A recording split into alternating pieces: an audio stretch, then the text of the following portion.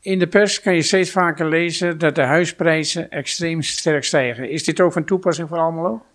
Ja, uh, uiteindelijk geldt voor Almelo hetzelfde als wat we in Nederland zien. Altijd in een, uh, een andere vorm en in een andere mate. Almelo, we hebben het even opgezocht. Transacties zijn met 11,7% gestegen, dus het aantal transacties. En daarnaast uh, de transactieprijzen, die zijn met 10,3% gestegen. En dan praten we over het vierde kwartaal 2019 ten opzichte van het vierde kwartaal 2020.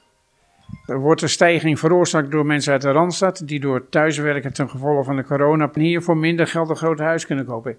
Die stijging in die, in die prijzen die komen toch voornamelijk uh, door de lage rentestand en het consumentenvertrouwen. Er zijn wel mensen vanuit uh, de Randstad of van buiten Twente die deze kant op komen. Uh, maar dat zijn niet zulke grote getallen dat het invloed heeft op de prijs. Uh, er zijn altijd mensen hè, die vanuit de Randstad, of in ieder geval buiten Twente noemen wij dat, hè, ja. uh, naar, uh, naar hier komen. Maar ja, die, die, die cijfers is wat vaak een beetje overtroffen, vind ik zelf. Hè. Dus de, je ziet echt dat wel mensen hier naartoe komen, maar het is niet zoveel als heel veel mensen denken. Wij, als wij vaak woningen te koop zetten, dan wachten ze allemaal op de, hè, de, de, gek uit Amsterdam die heel veel geld gaat betalen. Nou, dat is eigenlijk niet zo. Nee. Meer met marktwerking te maken. Vraag en aanbod, waardoor die prijzen omhoog gaan. Als je een kant-en-klare woning hebt die heel modern is, daar is meer vraag naar dan een, een woning waar je nog wat aan moet doen. Hè? Dus je moet renoveren. Het is ook een beetje afhankelijk hoe je als makelaar de woning in de markt zet. Hè? Dus je hebt verschillende strategieën. Bieden vanaf heb je bijvoorbeeld. Maar je kunt ook een huis uh, iets hoger in de markt zetten. En er zit best wel veel verschil tussen. Dus ook de consument is, is redelijk slim geworden op het gebied van huizenprijzen. Hè? De markt is redelijk transparant consument kan ook zien of iets, iets, iets duur is of, of aan de onderkant van de markt ligt. En afhankelijk van de strategie van hoe je dat inzet samen met de verkoper, bepaalt het ook het animo van, van het aantal kijkers. je ziet wel dat de prijzen ook, aan de, ook voor de starters toch wel omhoog gaan.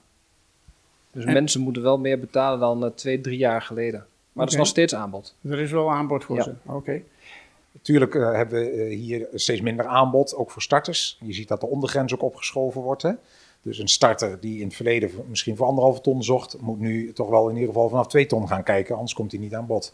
Dus je ziet dat het prijsniveau wel uh, gestegen is, de onderkant van het prijsniveau.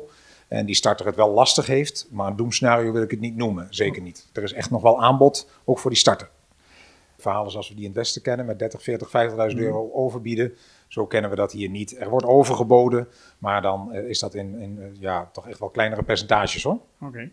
Uh, wij zien dat de gemeente met name de Primos-cijfers hanteert. En dat die voorspellen eigenlijk hoe de bevolkingsopbouw zal zijn voor de komende nou ja, 10, 15 jaar.